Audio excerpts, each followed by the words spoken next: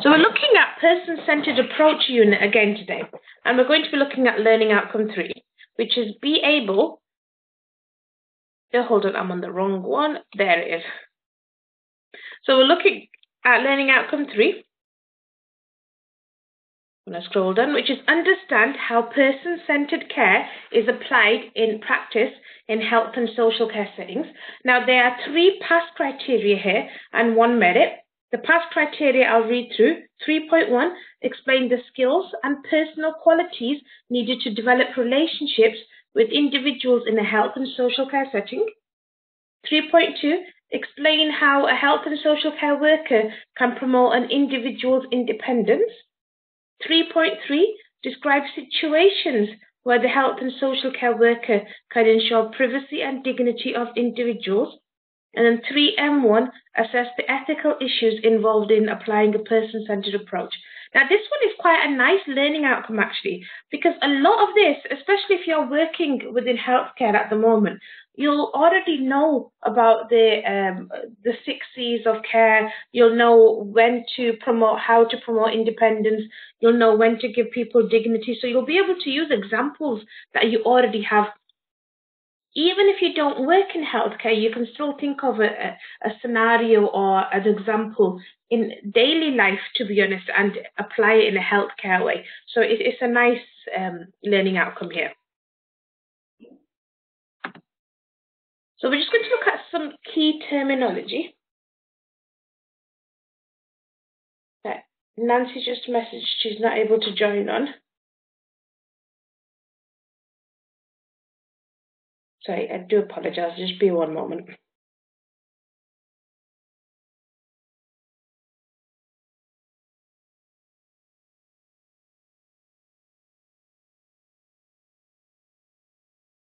There you go. Many apologies. So we're going to look at some key terminology. So we're going to look at um, some terms that you'll come across that it'll be nice for you to actually uh, put into your assignment as well. So positive relationships. So we know that positive relationships are good interactions, meaningful interactions things that you have like positive emotions about. You'll meet someone or you'll go into work or you've got a certain um, service user, a client that you like talking to. You'll have an emotions of happiness. You look forward to meeting them. You might feel enjoyment. You might feel peace and also a sense of well-being. Now, these positive relationships are constructive and they're really beneficial for everyone around you. You, you want to be in an environment where you've got a good relationship you don't want to be in a place where you've got negative relationships because it really affects you. Now, you've got the health environment. Now, these are practitioners and organizations that provide diagnostic, preventative, remedial, and therapeutic uh, services in different settings. Then you've got your social care environment, where you've got professionals and organizations that provide care, support, and protection to adults and young people. And they also help people who might be at risk or, you know, might be having issues with illnesses or disabilities and so on. And then you've got the childcare environment. So this is where practitioners and organisations will work from with a child who is between uh, zero, so from birth to 13 years. They'll work with them in their homes, in nurseries, in preschools, I've worked in a lot of primary schools in my early career, and I know there was a lot of cases uh, where you'd have. Um, Oh, Nancy's, yeah, that's good. You'd have a lot of cases uh, where you'd have like a, a speech uh, therapist that would come in, a nurse, maybe someone to help with someone's weight. You might have uh, psychologists coming in. So a lot of partnerships that were going in and out. Good morning, Nancy.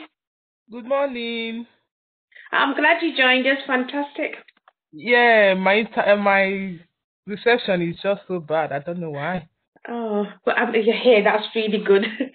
so we're we're just talking about key terms. Uh, we're not actually physically started properly yet. Just things like uh, positive relationships and so on. Okay. So we're looking at working in partnership. So it's just you know, where you're looking at developing positive relationships between people, and it's not just working in partnership where you work, where you think partnership is working is where a school will work with a, um, a nursing home, or you'll have the community nurses working with the care home. It's not, they're not the only partnerships, it's the partnerships that you have between your um, clients, between uh, the family members, so everybody that you come in touch with you're developing a partnership through with them. So you're having trying to get a good quality care, you're trying to get a good system of support developed, and you're trying to do this while being mutually respectful, honest, and actually open with each other, so communicating in a good way.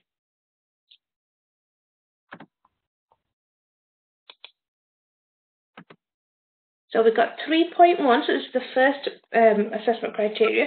Explain the skills and personal qualities needed to develop relationships with individuals in a health and social care setting. So for you to be able to, you know, look at what others need and what you can do to meet them, you need to develop your own relationships.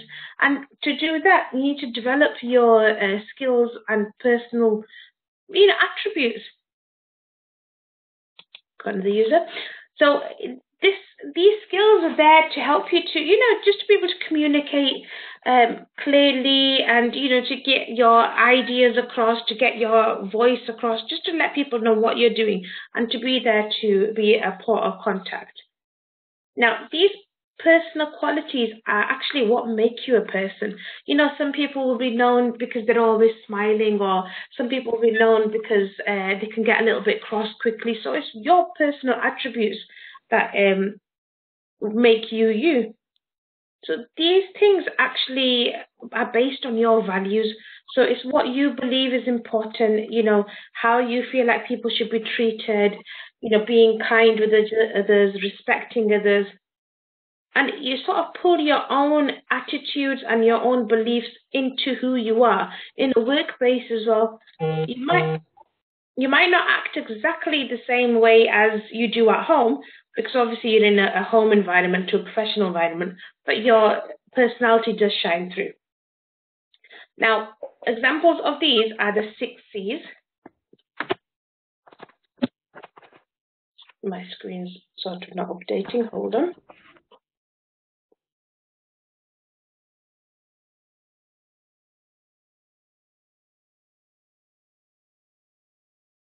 So the six C's, well, I'm waiting for this to update, uh, you know, when you're looking at care, compassion, competence, communication, courage, and also commitment.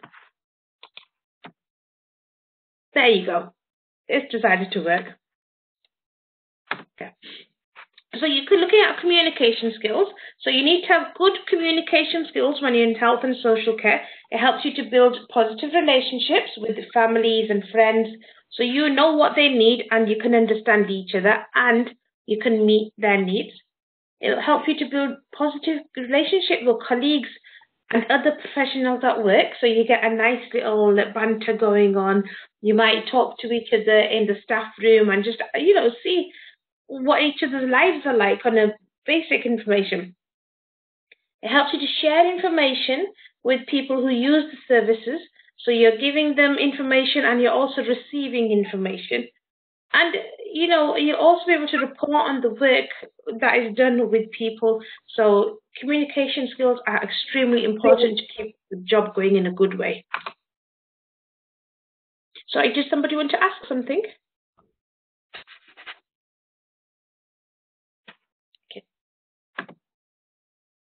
So, like I said, the six C's uh, care, compassion, competence, communication, courage, and commitment.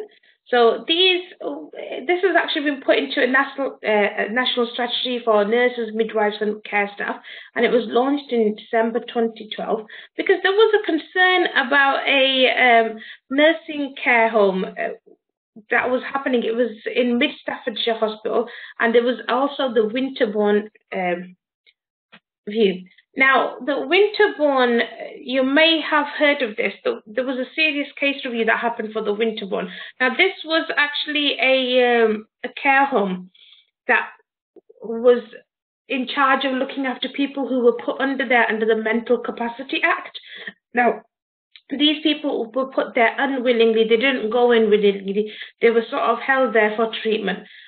Now, what the staff uh, there were doing was they were pulling their hair and forcing medication down their throats. They were giving them, making them take cold showers and stand outside for hours and then they were poking in eyes and pinching and in generally being not what they were meant to be. They were not behaving in a in a way that is demeaning care work.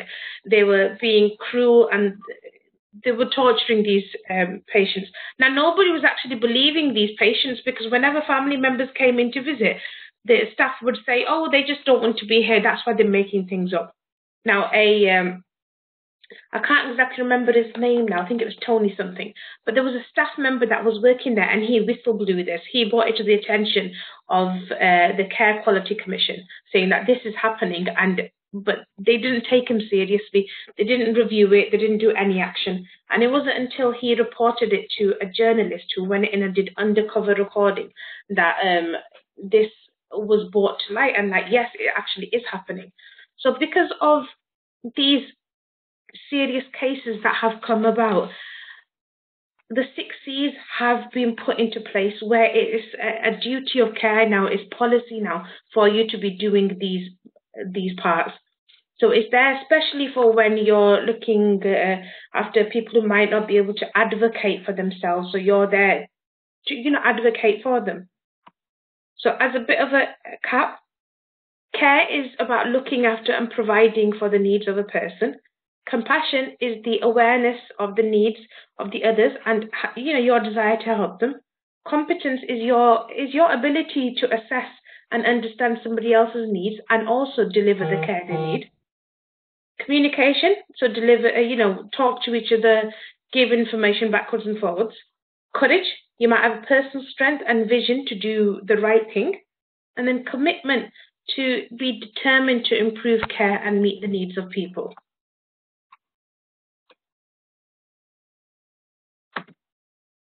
So you've also got active listening and responding. Now, in this, you need to make sure that you're actively listening to people. Now, when we talk about communication, what we think is that communication is us just talking. We'll talk is communication. But actually, half of the time, 50% of communication is you listening. So if you're talking to me, I need to be quiet and actually listen to you and respond to you. I might not use my voice to do it. I might use my body language or I might nod or give you, you know, thumbs up or eye contact. But it's me showing you that I'm listening. But if you're uh, talking to me and I'm standing in front of you and I'm yawning or I start writing notes or look at my watch or I start walk, you know, paying attention who's coming in and out of the door, that's showing that I'm not interested. It's showing that I'm bored. You know, it's showing that I'm being really rude and it can also distress someone. So if you're with a patient and you might be distracted and it can happen where you're really busy, you know you've got 30 minutes and you've got to do rounds, you've got to go and look after five, six other patients, and this one wants to talk to you. So it can be really difficult to try to judge how much time you should spend with each person. But when you are talking to them, make sure you pay attention to them, to them patients, to your uh, clients, to your service users, and then very politely say, "I'll come back and I'll talk to you in a few minutes. I just need to go and do this, but I promise I will be back." And set a time where you can talk to them, so that you're not causing them distress or you're not affecting their self-esteem. They know that you want to listen, but maybe at that time you don't have the time to do it. So the process of active listening and responding is here. So I'm just going to read through this. So when someone's talking to you, let them explain.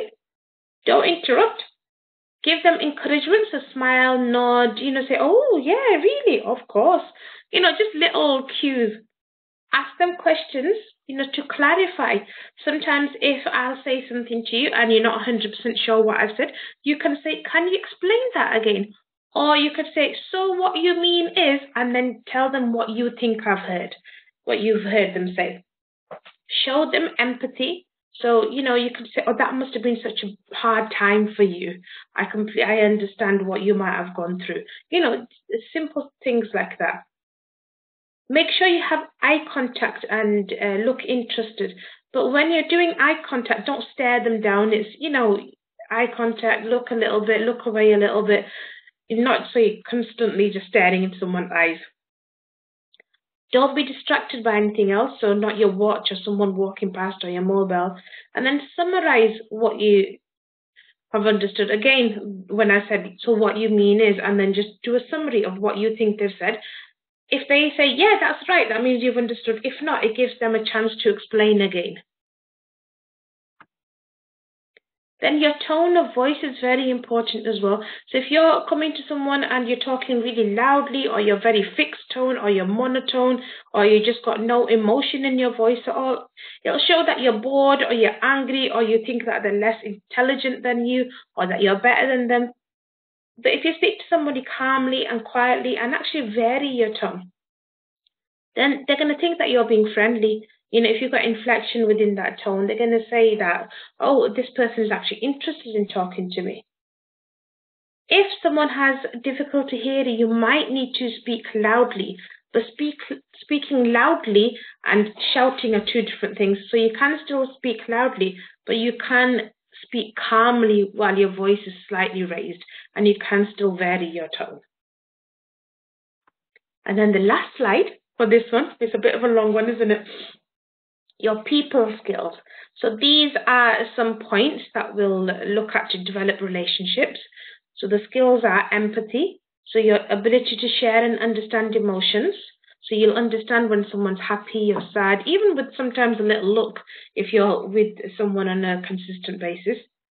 Being patient, so you know, have the capacity to accept problems and to actually tolerate them. There might be somebody who gets upset really easily and is always crying when you see them, but it's not your job to go in and say, oh, stop crying and behave yourself or anything like that. You need to be tolerant of that. It may be a coping mechanism for that person. So don't become annoyed, don't become anxious. Trying to get trust between each other.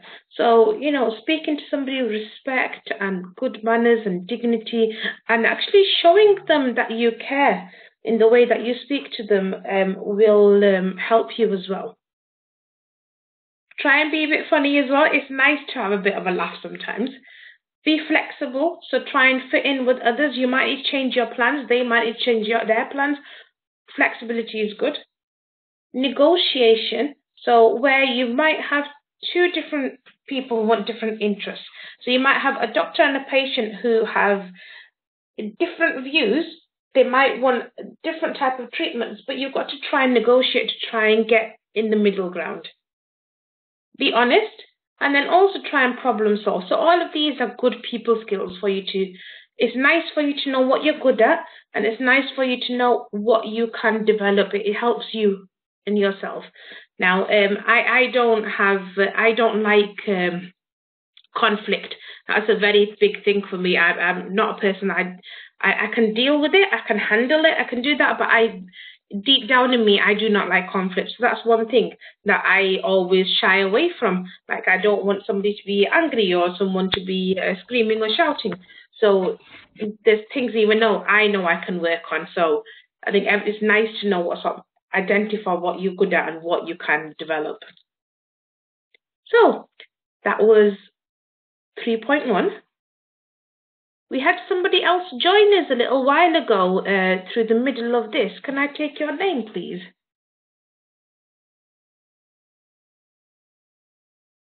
Oh, it's Julia. Fantastic. Yeah, good morning. Sorry, I've good been late a little bit. I didn't want to interrupt you. Oh no, that's fine. I saw you join, but uh, I thought we'd I'll speak to you at the end. That's brilliant. Thank you. Fantastic. So let's go on. Just, anybody got any questions about this so far? No? Fantastic. Let's go ahead. 3.2. Now, you'll be happy to know this is a short one now. So, explain how a health and social care worker can promote an individual's independence. Now, promoting independence is really important. in some cases, say for example, if you're in a care home, you'll come across this a lot more. But if you're in a, a hospital, you'll probably be used to having a higher turnover of patients, depending on where, what department you're based at, and what sort of uh, things, jobs that you do. But especially in a care home, it's very important to promote independence, the person's independence. Now, there's a lot of ways that this can be done It's done through active participation, and this is a part of person-centered approach. And this helps you to support the rights and independence of individuals. So you're encouraging them to participate in their own activities. So you eh, encourage them to plan, to assist in their own lives, and to be as independent as possible. Now, even if it's somebody who can just get up and make a cup of tea, or someone who can come if they can't handle a kettle, their hands are shaky. Maybe they can come and just put a tea bag into the uh, cup for you, or choose what they want, or be given the remote control. Just little tiny little things to promote someone's independence. Saying, oh, um, rather than you going into a room and choosing the clothing for a, a, a patient or for a service user, you can actually say, what would you like? And you can pull things out and show it to them. They don't physically have to move if they're not able to do that. But then they can say, oh, I'd like this green outfit today. I want to wear a dress today. I think I'm in the mood for shorts. So tiny things really help. And as it's our habits but as a as a human as a mother as a carer as someone who likes to be in the mother hen type of mode it's very easy for you to take over especially when you think oh this is going to take me 10 minutes trying to get uh, betty to help make to make a cup of tea. I'll just do it in 2 minutes and i don't have to supervise her. But you're not helping that person. You're just taking things over. So even though it's sometimes your nature to try and speed things up, it's best to let them be as independent as possible. Now, the way what this will help is when you're letting someone be independent, you're giving them an increased independence. They've got higher self esteem and confidence, and they've got a self awareness of what they can do and what they can't do. They'll have a better overall well being, it'll give them more opportunities for activities. They can have social contact with other service users in the building. They can talk to other members of staff. They'll be able to build relationships rather than them just relying on you for everything. They'll have increased opportunities for learning and development. Again, they'll get better relationships with others and care staff. And then it'll give them that increased physical activity and health that they need they're going to have a decreased likelihood of abuse because they're not consistently 100% uh, dependent on somebody else to do things for them. And because it's building their self esteem, self confidence, and self awareness, you're going to be uh, decreasing their vulnerability. So it's got a lot of plus points for you to help let somebody be actively participating in their own care or in their own daily needs. So active participation can be used to support all aspects of an individual's preferences. So they get to say how their care is being pro- support, provided and supported, um, what they eat, what they drink, what they do in that day. They're choosing what they want to do. They're getting more opportunities and social interactions. They're able to recognize what they can do and what they can't do as well. And again, you're promoting their rights, independence, and choices. So active participation and independence are a fantastic thing.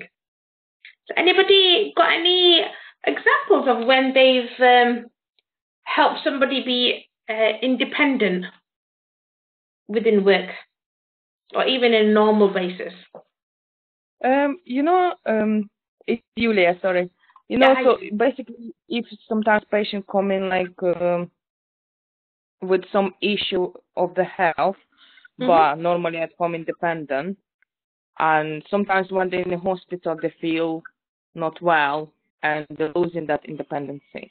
Yes. We always encourage them to do what they used to do, even if it's just by little. Mm-hmm. Try to get up from the bed, try to do something, try to just to sit down from the bed to the chair. Yeah. So is that I don't know if it's a good example. No, it is. It's 100% true because even because, for example, if you've had a patient that's come in and they've had uh, their appendix taken out, and it's important for you to get them up and moving the next day, isn't it, a few hours later? So you want them to sit up and get up and do a few steps to see how they're going so you can discharge them and see if they're okay. These little things that you're talking about, even getting them to stand up or sit into a chair or walk three steps, it really does help. So tiny things really help. So yeah, that's exactly the point we're making here. So 3.3. So this is where we're going to look at situations where the health and social care worker can ensure the privacy and dignity of individuals. So privacy and dignity are parts of person-centered values and that you'll be uh, on a familiar with these anyway. So we know privacy is giving people space, you know, when they need it and respecting their personal information. So you might have overheard um, someone talking on the phone or talking to family. And it doesn't mean you might, it might be the juiciest gossip you've ever heard, but it doesn't mean you're allowed to go running off and telling your co-workers, even though you might desperately want to, because you need to respect their privacy. And then dignity is about respecting and valuing their individuals.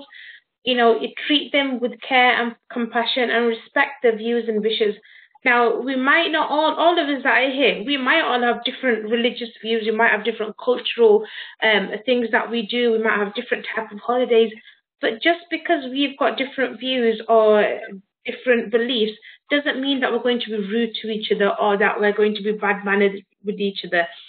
You know, I might say, oh, uh, I'm going to uh, celebrate Easter today, and then it's whether you celebrate or not, it's you say, oh, happy Easter. Or like a little while ago, I had Eid celebrations and I had a lot of messages saying Eid Mubarak. And it's nice to have little, uh, you know, just respect and be compassionate with each other, even if you don't have the same beliefs. So, how can privacy and dignity be compromised and also maintained? So, with this, when we're looking at uh, privacy and dignity, dignity. Compromising can happen without you even realizing it. And we want to make sure that we maintain the dignity rather than compromising it. So I've got a little chart at the bottom here. So we're going to go through uh, a couple of points. So one section is maintains privacy and dignity. I'll just highlight that. And then one is compromises privacy and dignity. So to maintain it, you knock before you, when you're going to someone's room, knock on the door before you enter. If you're compromising it, you'll walk into the room without knocking. They could be getting changed, they could be scratching themselves, who knows what's going on. So, but you just knocked, you walked in without knocking. So that and that. And then greeting someone and speaking to the individual saying, Hi, how are you? Or good morning, Mrs. or Mr. And then you say the name.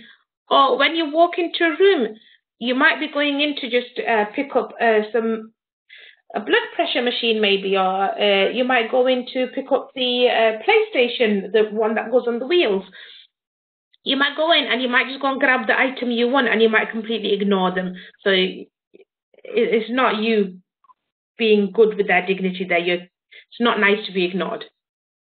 Maintaining it is by asking for consent before touching an individual to perform personal care. Now, another point that I would point out is if you're doing personal care for someone and you know you need to give them a sponge, uh, a body wash, rather than asking them to remove all their clothing and to just have no blankets cover them and just be completely naked and you cleaning them, what is good practice, and I know you'll probably already be aware of this. If you're cleaning their leg, make sure that every part of their body is covered except for that leg. Cover it, go to the other leg, uncover that. If you're cleaning an arm, pull the blanket down, expose the arm. If you're cleaning the chest, expose the chest, and then so on. Just make sure that the rest of their body is covered.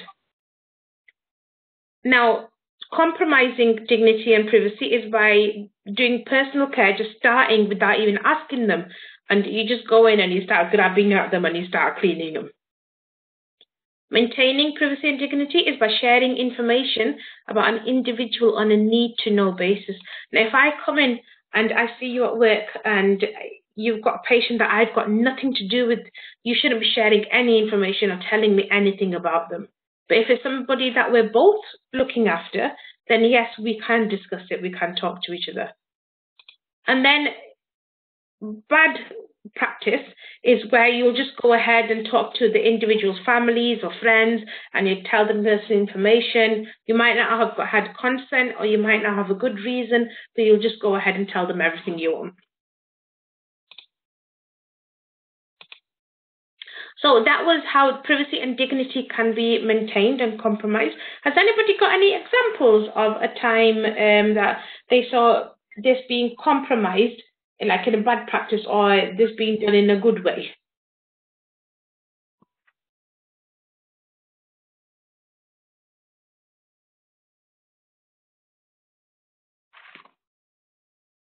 Um, I can give it um, again one. yeah, of course you can. Um, if example um, about the patient, yeah, the patient in like usually sometimes the patient uh, usually patient in the morning needs to have a wash, mm-hmm. and uh, you know uh, like uh, but you're not gonna go and just say okay you having a wash now. Yeah. You need to ask permission. Would you like to have a wash now, or would you like to have it after breakfast? Mm-hmm. Is the maintenance privacy and dignity, isn't it? Yeah, Exactly, and then you're giving them that uh, independence where they're getting to choose uh, as well. So that's fantastic.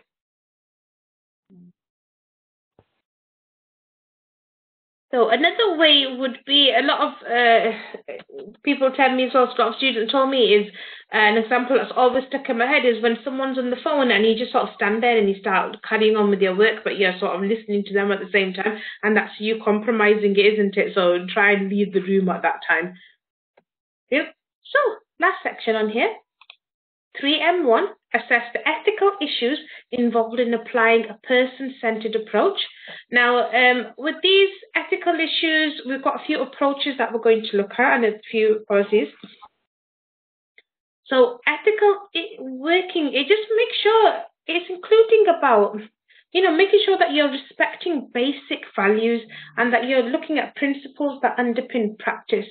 But you're also looking at moral questions as, you know, you might think about pro- prolonging a person's life against their wishes. They might be terminally ill. They might want to uh, not carry on and you're prolonging it against their wishes. Now, there are some examples here. So you've got patient privacy and confidentiality. So the protection of private patient information is one of the most important ethical and legal issues in the field of healthcare.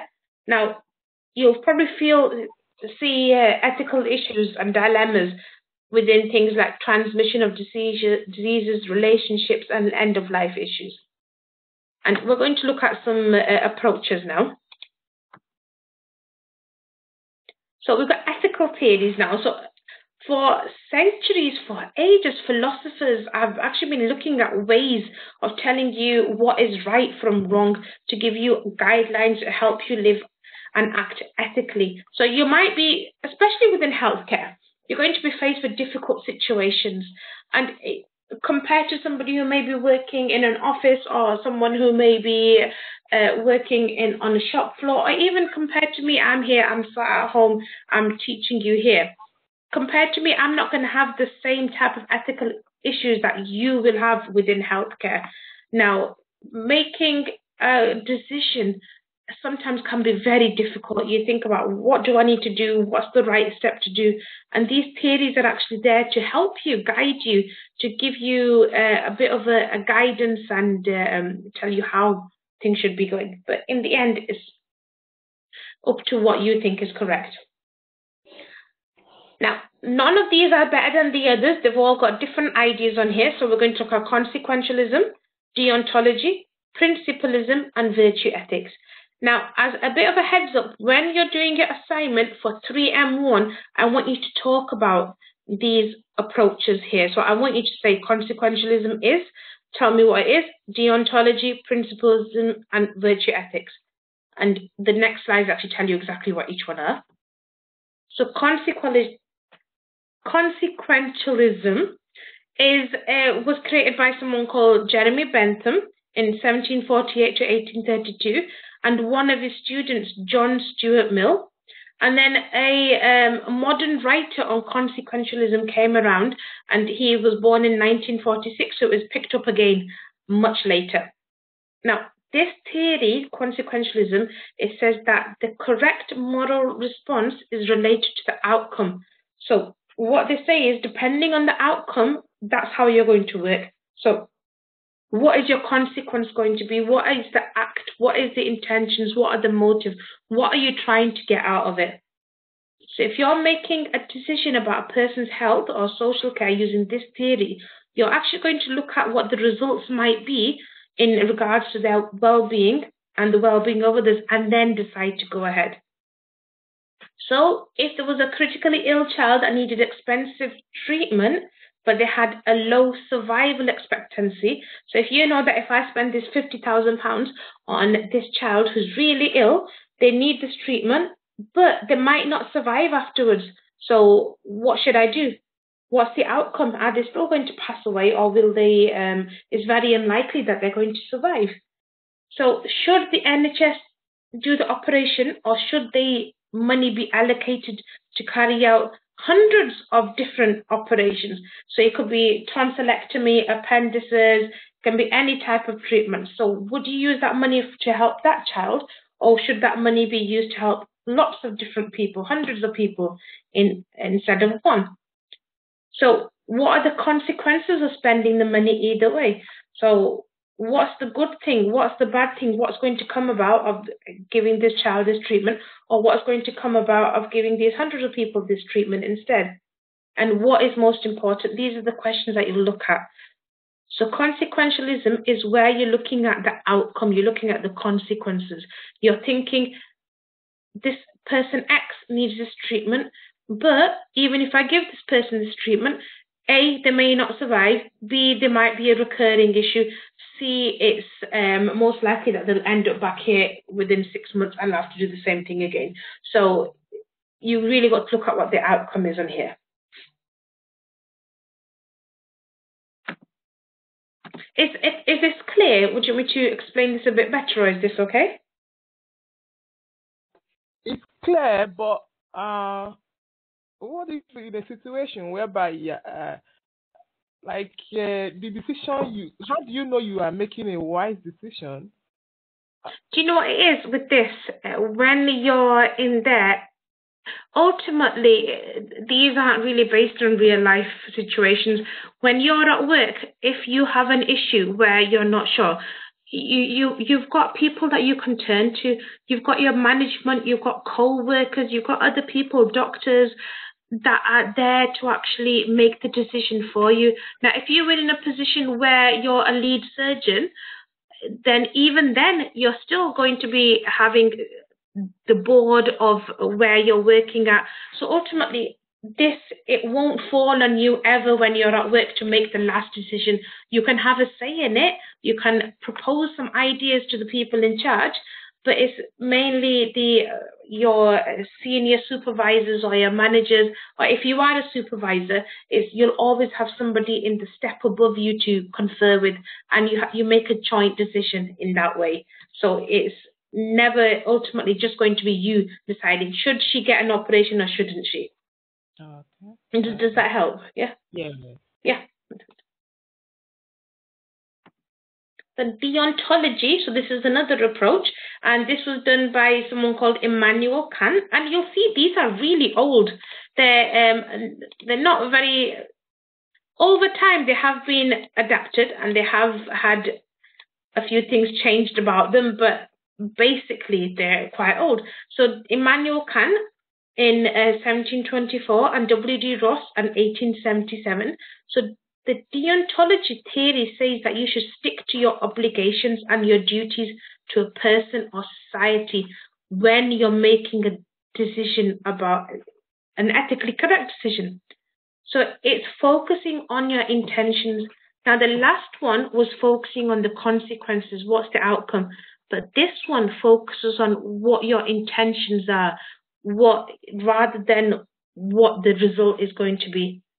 So, for example, you're looking at the rules about who receives what treatment and you're trying to be consistent universally. So you might have three patients and you know patient A and B will survive and get it will be beneficial for them to have this medication. But patient C may or may not survive. They're in a, a worse off situation. But you're saying it doesn't matter. All three should get the same medication because they've got the same issue. Again, they're saying all patients are owed the duty of care and the duty of not being harmed. So this theory, it doesn't really take into lots of different factors. So it doesn't look at um, you not having enough resources. It doesn't look at uh, not being able to give everybody the same care depending on where they live or uh, what sort of area they're in or what their needs are. It just looks at it on a broad basis where they say, you want to do a good thing here, if everybody should get the medication or everybody should get this treatment and that's it. They don't look at anything besides that. Um, anybody want to ask any questions or uh, for me to make anything clear?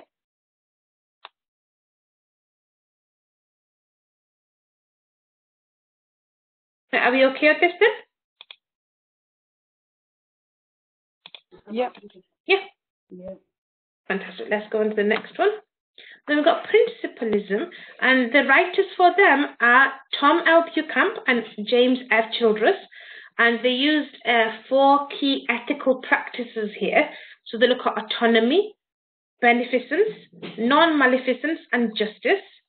So autonomy is where you respect the decision-making capabilities of autonomous people, so of people who can make decisions, and you help them to make independent reasoned, informed choices. So you tell them all the information and they've got the mental capacity where they can make decisions. They've got all the information and then you can they can make decisions about their own care. Beneficence is you're looking at balancing the benefits of treatment against the costs.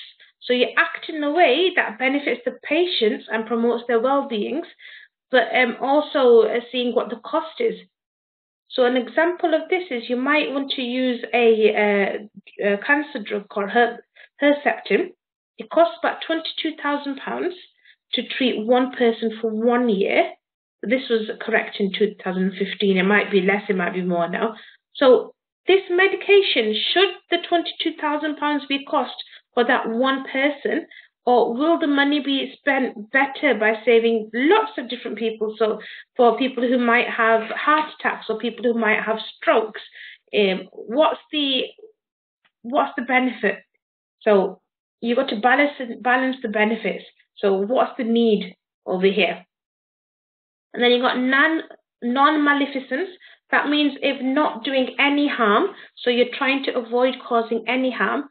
So an example of this is to make sure that any side effects of a treatment don't outweigh the benefits. So you might have um, a medication where, for example, um, asthma treatment. You might have a few inhalers, they've got some chemicals in them, you know that it'll open your constricted airways. But what if it causes you to start having your hair falling out? What if it causes your uh, liver to be damaged? What if there's other issues that are going on with it? So you've got to make sure that even if you're trying to help someone by sorting out their root problem, you don't want to give them other issues that will need to have medication or um, will give them problems later in life. And then justice, so be morally fair and right distribute a fair share of benefits and do what the law says. So look at what the rights of the people are and just make sure that everybody's getting a fair share of benefits. That doesn't mean everybody's getting what they need, but it's that it's distributing um, the care and your support between a whole range of people rather than just focusing on one person and giving everything to them.